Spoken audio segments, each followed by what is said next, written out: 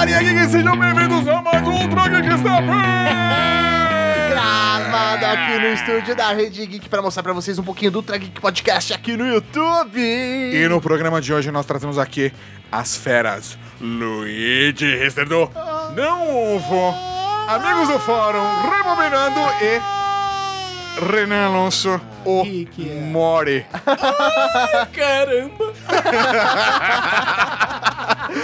Estranhamos eles porque dessa vez nós falamos sobre Rick and Morty. Espetacular. Se você gosta de Rick and Morty, se você não conhece Rick and Morty, não importa, clica aqui no cardzinho e ouça esse podcast que está fenomenal. É uma verdadeira ode a essa série que nós somos completamente apaixonados. Vale citar, vale citar que se você não sabe como ouvir no podcast, não tem problema, clica agora aqui no cardzinho que temos o nosso aplicativo, é só você baixar e dar o play. É, coisa linda de Deus. E dessa vez aqui no Ultra Geek Snap nós vamos falar sobre o episódio de Rick and Morty que nós mais gostamos, Nossos favoritos. favoritos ou que nos representa Os melhor. quatro melhores episódios de Rick and Morty. É o que vai estar no título. Mas de verdade é os quatro melhores de- episódios de Rick and Morty, na nossa opinião.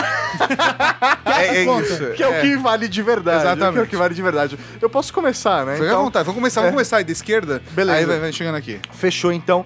É, compartilhando com vocês, né? Nesse episódio a gente falou muito sobre o fato de Rick Morty representar o que é a sociedade, da maneira, na- através da ficção científica, Comunista. representar o que, nós, o que nós somos de verdade e tudo mais, né? No seu caso, comunista. No meu caso, comunista. Só tô pontuando.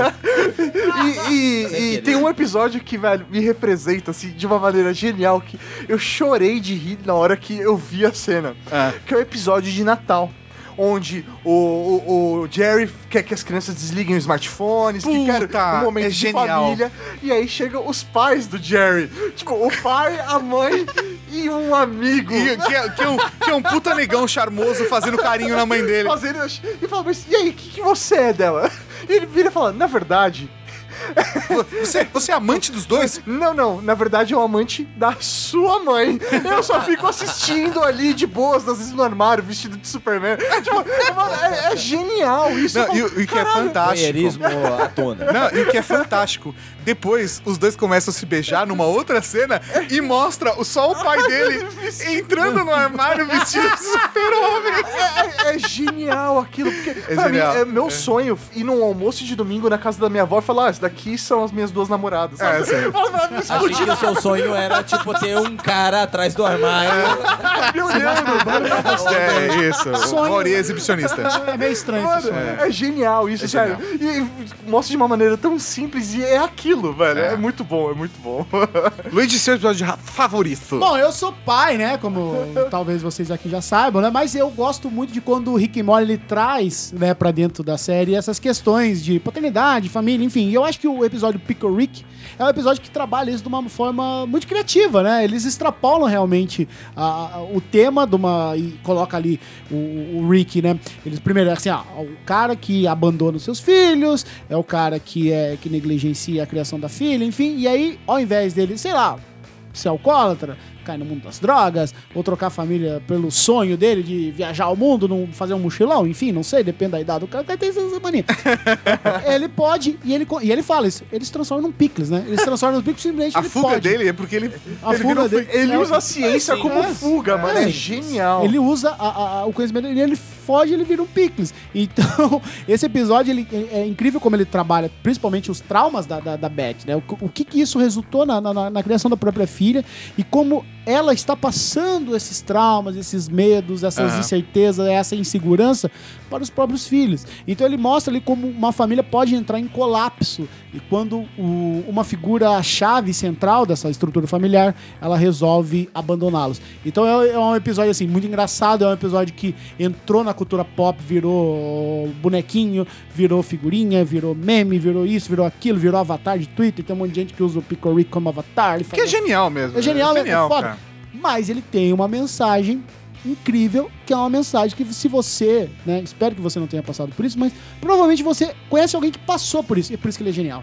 É Fantástico. aí. Ele é forte. Agora, pra você, né? Qual é seu episódio favorito de Rick and Morty? Não, ele tem que falar é falando como falar Mori. qual é. Ai, caramba, qual que eu falo que é meu favorito? No final das contas, a cada vez que eu vou falar sobre o meu favorito, eu falo sobre um diferente. É, é isso aí, cara. É isso aí. Não, mas agora é, são tão fodas que. Qual eu falo? agora é o de verdade. Agora é o, Agora o de favorito de verdade, é o verdade. valendo, é o que tá na câmera.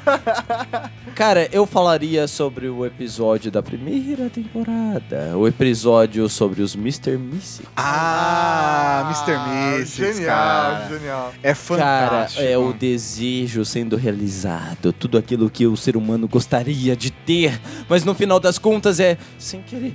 E aí você pega o Jerry, que pega o desejo mais simples do mundo, né? Que é ter o- a sua tacada de golfe. Ele só queria melhorar. Ele só queria melhorar a tacada de gol. Era só isso. O desejo dele, que era mais simples, na verdade, foi mais difícil de ter se conseguido. Se, se você for reparar bem, dentro de todos os desejos, o, o- o da Beth e o da Summer são os mais né, complexos, né?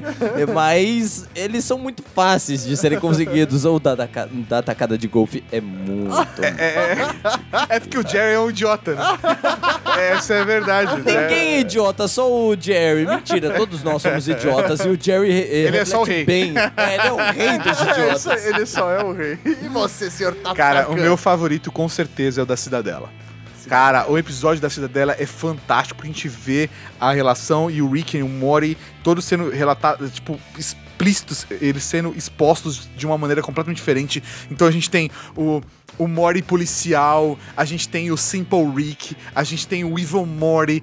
Cara, assim, todos os Ricks e Moris que aparecem lá, sabe? Desde o Rick trabalhador sendo explorado até o, o- Rick que tá. Até o Mori que tá no comando. sabe Assim, cara, tudo assim, mostra como, mesmo dentro de uma cidadela, de uma cidade, de uma sociedade composta só por réplicas de dois seres humanos, como tudo continua dando errado porque a gente é imperfeito. É e eu acho, cara, eu, eu acho que é isso que é mais rico nessa série, como a série retrata a imperfeição humana de um jeito tão perfeito. E aí, qual que é o seu episódio? Deixa aqui nos comentários. Porra, deixa aqui nos comentários, cara. Eu quero muito saber qual é o seu episódio favorito. Eu aposto que vai ser a Cidadela também, porque eu tô sempre certo. É isso aí, valeu. Tchau. Tchau! Olha, é, aproveita que você tá aqui e já se inscreve no canal, beleza? É, isso, se inscreve no canal e aperta a sinetinha pra ser notificado. E, e- não se esquece de dar o joinha aí, falou? Então tá feito, joinha na veia. Tranquilepa?